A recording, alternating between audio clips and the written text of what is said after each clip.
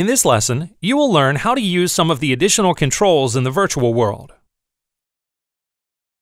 The three numbered buttons on the right are camera control buttons and will adjust your view of the robot.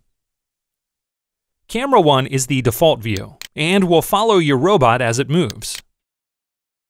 You can zoom in or out on the robot by scrolling with your mouse. Camera 2 is a top-down view that will show the entire programming challenge. Camera 3 follows the robot, but allows you to customize the angle you view the robot. You can click and drag in the world to rotate the view, and zoom in and out by scrolling with your mouse. Choosing a good camera view will help you solve the different programming challenges in the Curriculum Companion. Pressing the Home button will exit the challenge and return you to the Curriculum Companion menu. In this lesson, you learned how to use the additional controls in the virtual world.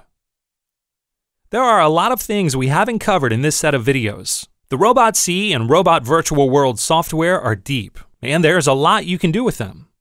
However, by mastering these basic concepts, you will have a solid foundation to build on as you continue to learn and explore.